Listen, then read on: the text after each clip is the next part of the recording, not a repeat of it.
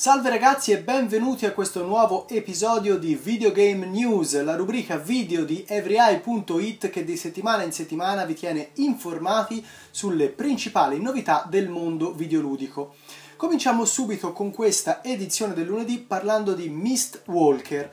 La software house capitanata dal talentuoso Hironobu Sakaguchi, infatti, non è stata molto più attiva dopo il rilascio di The Last Story su Wii. Il team capitanato dal papà di Final Fantasy insomma si è dedicato soprattutto a qualche piccolo progetto destinato a dispositivi mobile.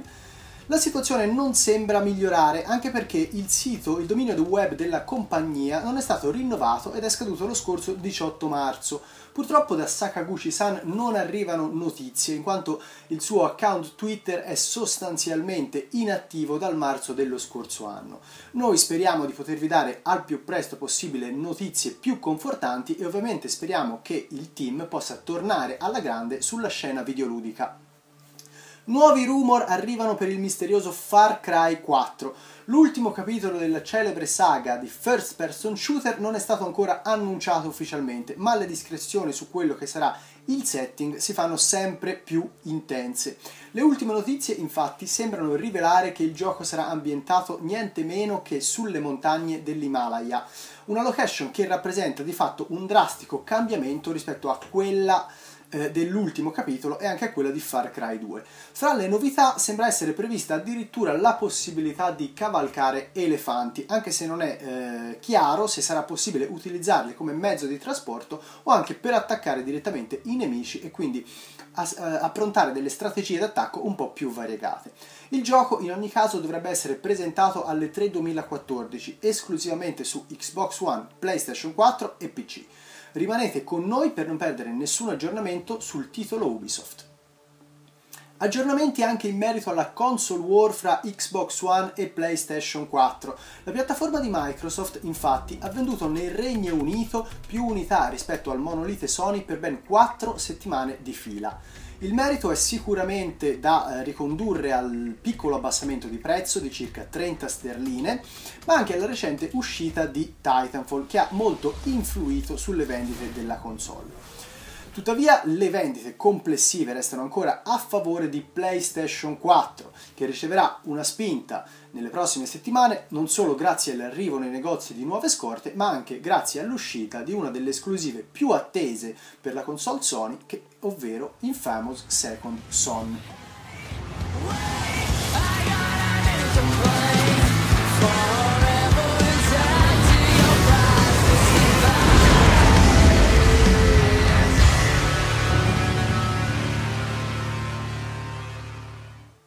Koji Igarashi, ex producer della serie Castlevania, ha da poco lasciato Konami per fondare una propria compagnia.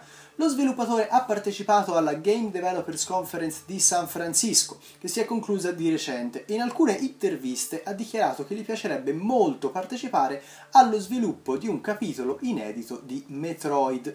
Ovviamente una scelta di questo tipo spetta a Nintendo, che attualmente detiene il possesso del brand. Noi però siamo convinti che il producer potrebbe eh, fare un buon lavoro anche con eh, un'altra delle saghe che da sempre ha eh, rappresentato uno dei baluardi degli action adventure insieme già, al già citato Castlevania.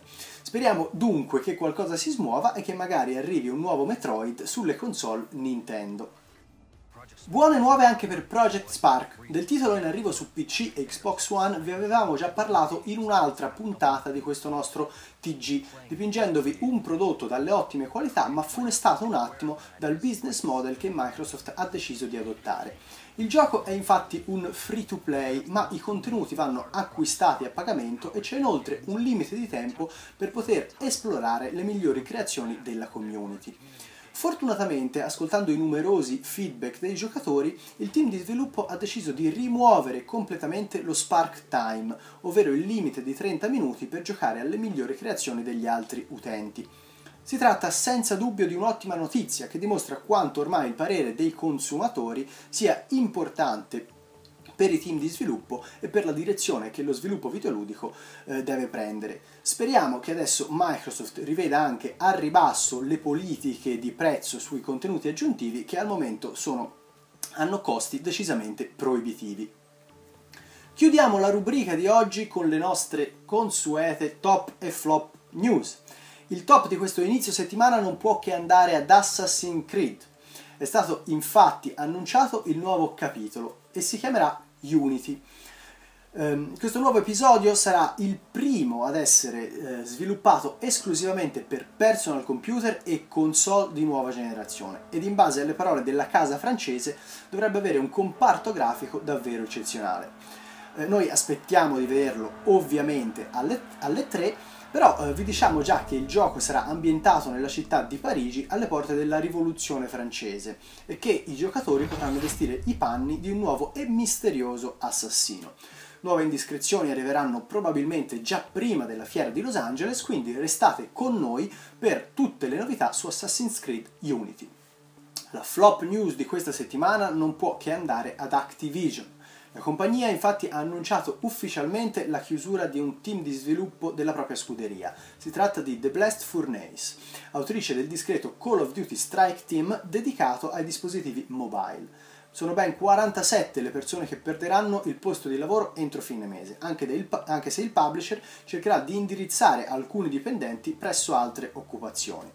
Activision stessa inoltre aveva promesso di cercare soluzioni alternative alla chiusura del team, fra cui la vendita a società esterne, anche se purtroppo nessuna di queste proposte ha avuto successo. Noi ovviamente facciamo i migliori auguri agli sviluppatori coinvolti nel licenziamento per, perché possano trovare diciamo, eh, un posto di lavoro all'interno di questa industry.